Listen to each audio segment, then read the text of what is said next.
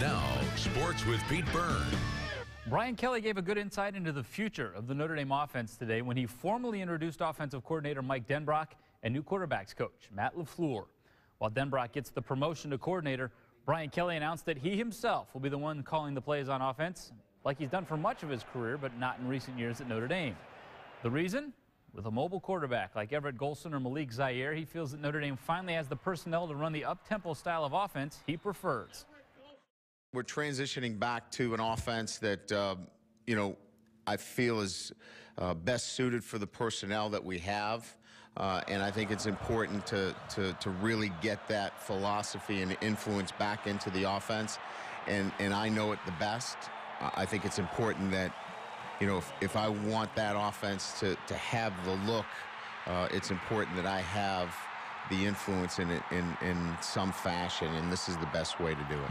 I just try to get the most out of my players, however that um, would be. I think each guy learns a little bit differently, and really, ultimately, you have to find out what makes each guy tick.